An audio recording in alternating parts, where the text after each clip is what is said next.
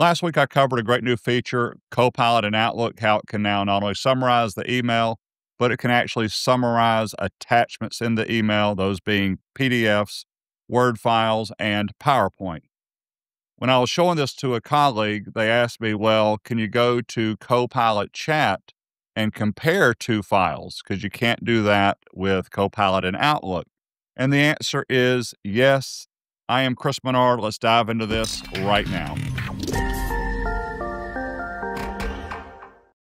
I have Copilot Chat running. If you want the URL to get there on the web with Chrome or Edge, I have it on the screen right now, but I'm using the one from my taskbar. I just clicked on this. Make sure you're on web. So if you work and have a business M365 account or an enterprise 365 account, you're going to have this and you can do this.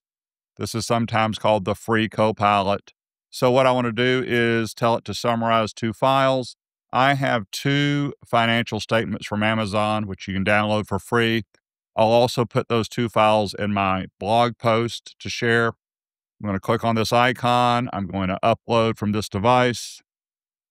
You can select multiple files at one time. I was in File Explorer and I selected both the 2024 and 2023 annual report. And then the question is, what do you want to do with them? I'm just typing in one word. I'm going to just type in summarize. Let's send this off to Copilot. The results came back. Let's take a look at them. Financial performance overviews, the section. If I scroll down, I've got some bullets about retail and consumer, media, on and on. I'm not going to go through all of this. What I do want to do is look at some of this financial performance overview you know, I'm going to say this always check what Copilot returns. I'm going to spot check at least the total revenue. I have Amazon's 2024 pulled up, and there's your 639, 959, 574. Even if I go look at the 2023, they happen to consolidate them throughout the years, but here's 2023's financial statement 574. One more check. Let's take a look at that operating income. For 2023, 36.9 billion. 2024, 68.6 billion. Uh, year over year growth, 86%. Let's go find those numbers. Here is the operating income line.